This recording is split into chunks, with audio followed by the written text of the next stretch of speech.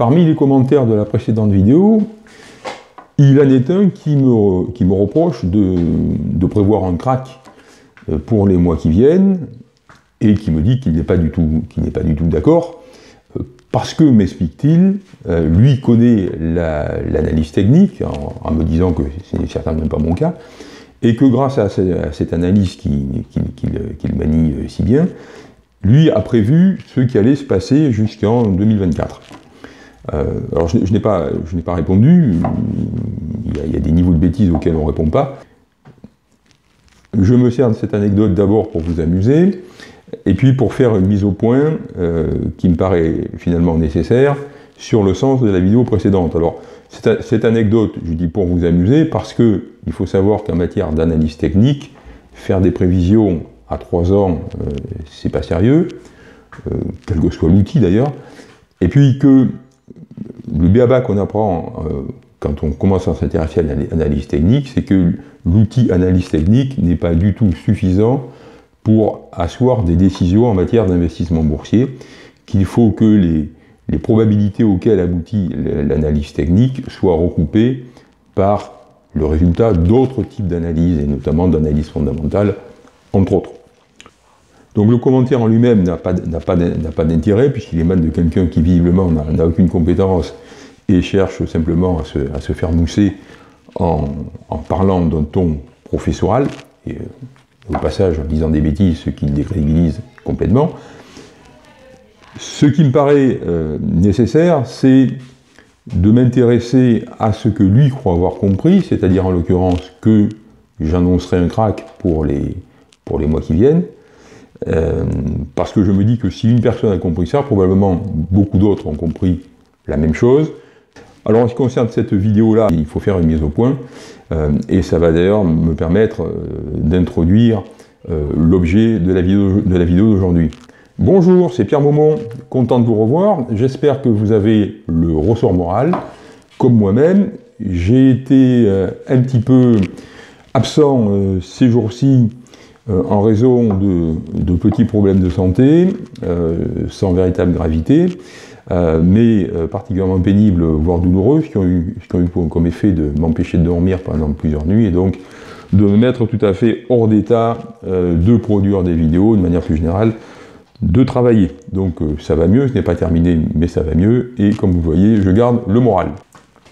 Donc pour faire la suite avec la vidéo précédente, et d'ailleurs cette vidéo est objectivement la suite de la vidéo précédente, sur le plan boursier, nous sommes en effet sur euh, des fondamentaux qui sont tout à fait, euh, tout à fait haussiers, et de, très nombreux observateurs de la bourse, investisseurs, euh, journalistes spécialisés, économistes, financiers, mettent en avant les raisons qui font que la, la, continuation de la hausse est probable.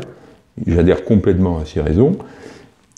Et en même temps, nous sommes sous la menace d'un retournement total qui serait provoqué, comme je l'expliquais dans la vidéo précédente, dont c'était le thème, par une résurgence de l'inflation qui entraînerait euh, de manière euh, absolument mécanique, qui entraînerait une hausse des taux d'intérêt, laquelle entraînerait l'effondrement de tous les marchés.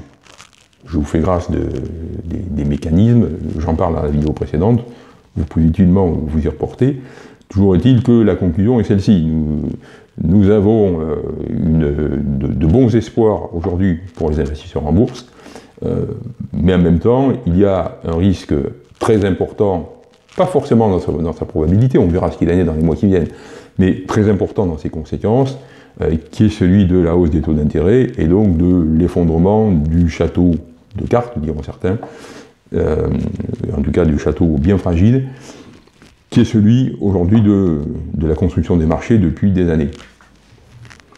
Je vous propose donc aujourd'hui de réfléchir ensemble à la question comment rester en bourse pour profiter de la très possible hausse tout en étant relativement ou convenablement protégé en cas de survenance d'une situation de crack. Dans cette vidéo, je vous présente une grande innovation qui consiste à vous dire tout de suite sans attendre la fin de la vidéo comme je le faisais avant, que vous trouverez Sous cette vidéo, donc dans la partie description, à laquelle on arrive en cliquant sur le plus PLUS majuscule qui est quelques centimètres sur la vidéo, vous trouvez un lien qui vous permet d'accéder au PDF qui prolonge cette vidéo avec ben, des analyses évidemment un petit peu plus poussées que celles que je vais vous présenter là. Si je vous fais cette communication à ce, à ce stade dans la, dans la vidéo, c'est tout simplement que statistiquement, il n'y a qu'une minorité de spectateurs qui restent jusqu'au bout, ce qui est dommage, puisque les, les, ressources gratuites que je mets à votre disposition, euh, si je le fais, c'est bien dans le but que vous y accédez, et il est donc finalement nécessaire de vous faire cet intermède maintenant pour que vous sachiez que vous trouverez sous la vidéo euh, le PDF qui complète ce que je suis en train de vous expliquer. Si vous découvrez cette chaîne aujourd'hui, soyez les bienvenus parmi nous. Et afin de ne rien manquer des, prochaines vidéos sur ce sujet de manière plus générale, sur ceux de la finance, du patrimoine et de l'économie, et donc pour être notifié automatiquement par YouTube, eh c'est simple, il suffit de passer la souris sur l'icône vert et bleu, ce qui fait apparaître la cloche, apparaître la cloche d'abonnement, et donc de vous abonner. Vous pouvez aussi pour aller plus loin dans les sujets économiques, financiers et patrimoniaux, vous pouvez aussi vous abonner à mon blog, le lien est également dans la partie description sous la vidéo, euh, ou également à la newsletter, le lien est aussi dans la description sous la partie sous la vidéo. Alors ce qui guide notre, notre réflexion d'aujourd'hui, c'est que la tendance de fond est effectivement toujours la même, donc elle est et c'est donc toujours le même phénomène qui est à l'œuvre, c'est les conséquences des injections monétaires qui crée la mécanique suivante. Euh, c'est en effet euh, le fond, du, le, fond de ce moteur, c'est bien les injections monétaires. Ce qui est intéressant aussi, c'est de, voir comment les choses s'enchaînent et se multiplient. Alors, les injections monétaires créent ben, un phénomène d'inflation et on sait pourquoi, j'en ai parlé dans, beaucoup d'autres vidéos, et puis euh, il n'y a pas que moi qui, en parle, c'est quelque chose qui est, pointé depuis des années par, par les économistes. Euh, ces injections monétaires ne vont pas dans l'économie, comme elles sont censées aller, elles vont en fait dans les banques et se retrouvent, les banques étant de très gros investisseurs en bourse, se retrouvent sur les marchés financiers pour, en face d'une richesse, euh, d'une croissance qui est quand même euh, globalement mollassonne, à peu près nulle en Europe, pas très forte aux États-Unis, un, petit un peu plus forte en Asie, Bon, on met de côté certains pays comme la Chine, comme l'Inde, bon voilà. Mais euh, globalement, le panorama est le suivant. Donc la monnaie croît à cette vitesse-là, l'économie croît à cette, vitesse-là, et naturellement, ça débouche sur une augmentation des prix. Euh, donc, première, euh, étape, l'augmentation des actifs boursiers, particulièrement des, actions, mais aussi des obligations, l'augmentation de ces actifs euh, en raison de les injections monétaires. Deuxième étape, les injections monétaires étant massives et durant depuis des années, tous les, les, personnes qui ont un, minimum de connaissances en économie, et en particulier, bien évidemment, les investisseurs en bourse et les professionnels de la bourse, euh, donc ils sont tout à fait, euh, tout à fait conscients de, de cela, et le seul en question, c'est la dévalorisation de la monnaie. Face à cette dévalorisation de la monnaie, eh bien, qu'est-ce qu'on fait? Eh bien, on cherche, on va vers ce qu'on appelle des valeurs refuges. Et les valeurs refuges, en face d'un phénomène d'inflation, ben, en gros, c'est tout ce qui est tangible. Alors, on le sait, c'est l'or, l'or a beaucoup monté, c'est l'immobilier, l'immobilier a beaucoup monté, et puis, euh, ce sont également euh, la valeur des entreprises, donc les entreprises, autrement dit, les actions. Voilà euh, la conséquence de ce phénomène monétaire. Et on voit bien que cette conséquence va dans le même sens que la conséquence initiale, qui est tout simplement d'augmenter la quantité d'argent et de faire monter les prix. Donc on a euh, un véritable phénomène de boucle de rétroaction qui est à la fois puissant et qui est extrêmement pernicieux. On comprend que les raisons qui font monter les marchés sont vraiment des raisons qui sont fondamentales, qui sont fortes, et que, sauf catastrophe, les marchés doivent continuer à monter. Alors, Qu'est-ce qu'on peut faire? Si on veut profiter de la hausse des marchés, eh bien, il n'y a pas 50 solutions, il faut rester investi. si on est obnubilé par le scénario noir, d'ailleurs c'était le, titre de la, vidéo, hein, le scénario noir que je développais dans la vidéo précédente, à ce moment-là, le plus sage est probablement, comme je l'expliquais d'ailleurs dans le PDF annexé à la vidéo, de sortir des marchés, c'est-à-dire de tout vendre et de tout placer en devise. Donc euh, voilà. Maintenant, euh, en faisant ça, on renonce à tout espoir de profiter de la hausse, euh, alors que le scénario en question n'est pas sûr de se produire, puisque au jour d'aujourd'hui, on ne sait pas encore si l'inflation qui, qui repointe le bout de son nez depuis plusieurs semaines, ou en gros depuis la fin de l'année dernière, si cette inflation est durable, c'est-à-dire si ce qu'on redoute depuis des années et des années, à savoir que la quantité de monnaie déversée qui jusqu'à présent restait sur les marchés financiers et dans les actifs euh, type immobilier par exemple, euh, si cette quantité de monnaie n'est pas en train de, déborder pour aller dans le fonctionnement quotidien, auquel cas on assisterait à un phénomène comme on l'a connu dans les années 70, euh, qui, bah, qui n'a cessé, qui n'avait cessé de s'aggraver et qui était devenu un véritable problème, euh, avec à la clé des taux d'intérêt élevés, et auquel cas ça serait donc l'effondrement, la, fin dans, un fracas boursier euh, inimaginable de la période sur laquelle on fonctionne depuis plus, de dix ans. si euh, on a les nerfs un petit peu plus solides, on va vouloir rester en bourse. Euh, et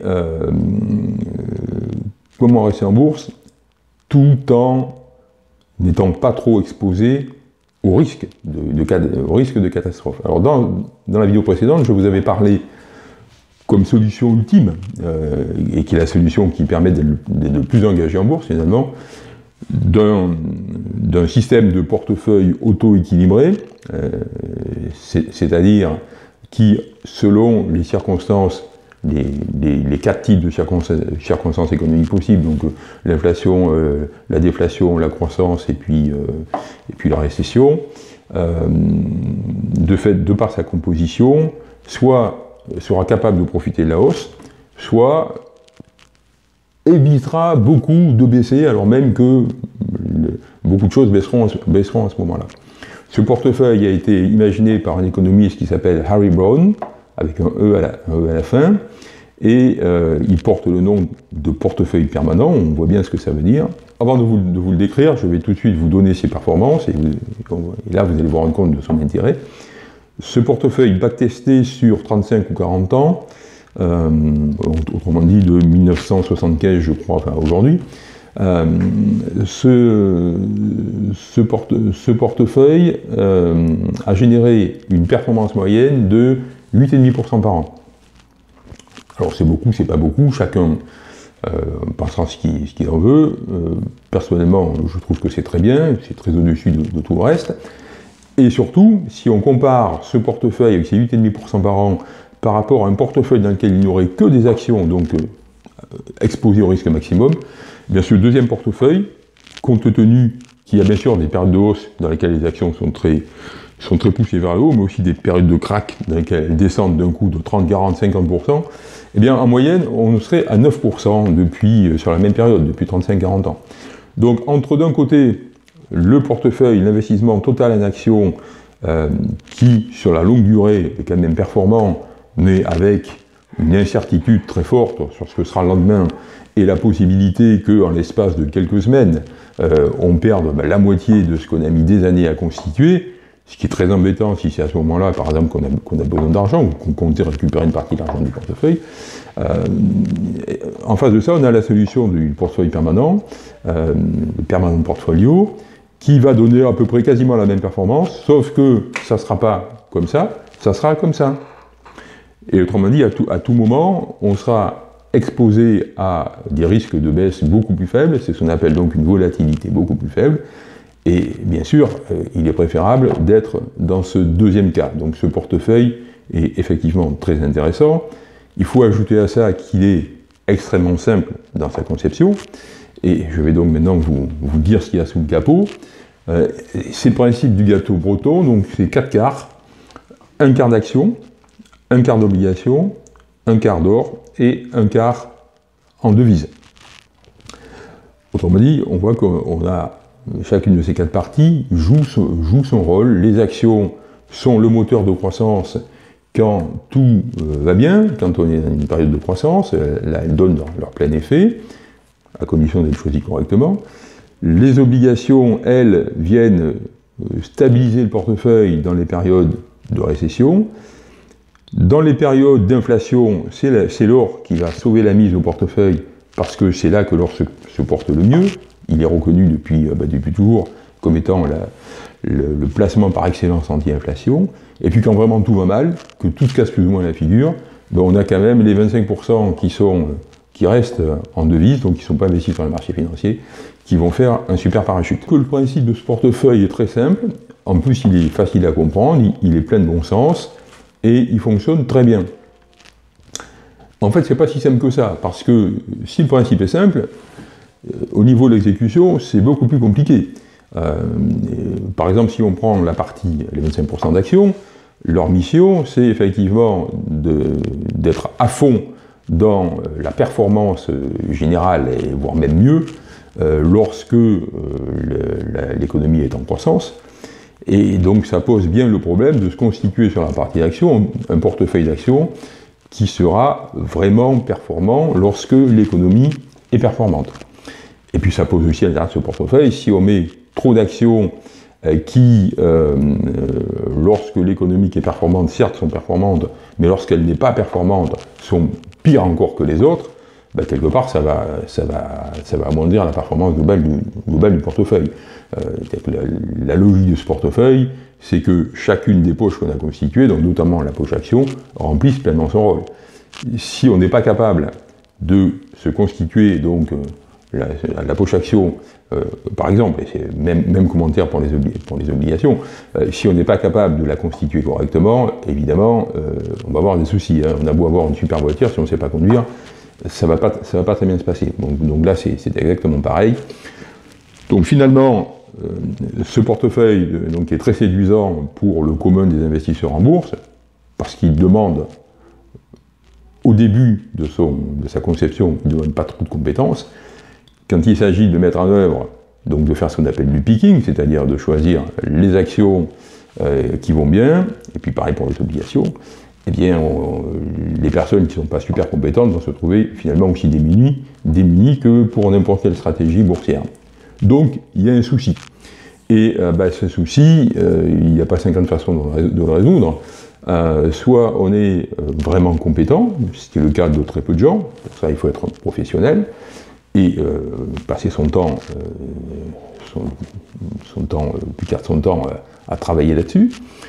Soit il faut être très bien accompagné par des professionnels, mais enfin ça, ça a un coût.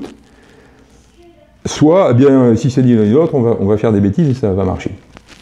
Alors, si je vous ai fait la vidéo, c'est évidemment pas pour vous dire, bah, comme vous n'êtes ni professionnel ni accompagné, tant pis pour vous, vous regretterez simplement de, ne pas profiter du permanent de portfolio. Euh, c'est parce qu'il existe depuis quelque temps un instrument financier que les plus, euh, les plus boursiers d'entre vous connaissent forcément, qui s'appelle les ETF, donc Exchange Trade Fund, c'est-à-dire ce sont tout simplement des fonds tradés, autrement dit, ce sont des fonds qui sont cotés en bourse, donc c'est comme des SICAV si vous voulez, mais d'une part c'est coté en bourse, donc euh, on peut acheter et vendre ces fonds-là à longueur de toutes les secondes si on en a envie. Euh, et puis, euh, autre caractéristique de ces fonds, euh, ils sont indiciels, c'est-à-dire que ces fonds représentent toujours, ont toujours une composition en termes d'action, en termes d'obligation, ça, dépend de, ça dépend de, l'objectif du fonds, ont toujours une composition qui est identique à celle de ce qu'on appelle le benchmark, c'est-à-dire à celle d'un indice de référence. Par exemple, on va raisonner pour un fonds classique dont euh, l'objectif est, d'être investi en actions dans le monde entier. Il va avoir comme, benchmark, donc comme référence, un indice qui s'appelle le MSCI World. et les fonds, ben, le gestionnaire du fonds fera tout son possible, choisira les actions comme il veut, pour arriver à faire au moins aussi bien que cet indice.